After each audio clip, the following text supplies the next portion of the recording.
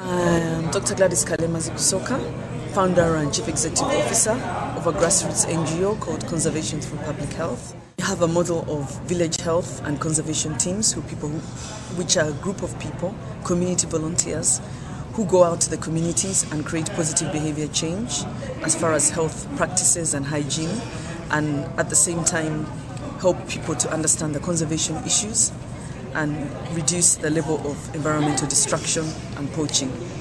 And this particular group of people, we found that we needed to keep them going, even beyond donor funding, and gave them income generating projects which they've developed, reinvested into village saving and loan associations, and have continued the work beyond donor funding.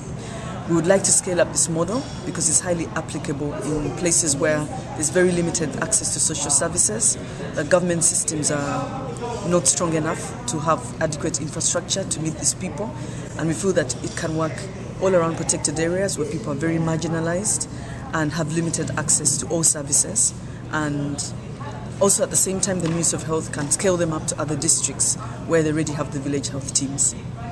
We believe that in this way we can help to accelerate the achievement of the Millennium Development Goals, reduce poverty, disease, and sustainable population growth rates, and have um, help to, with the inclusive growth in the countries which is lacking in, in Africa and Southeast Asia and Latin America.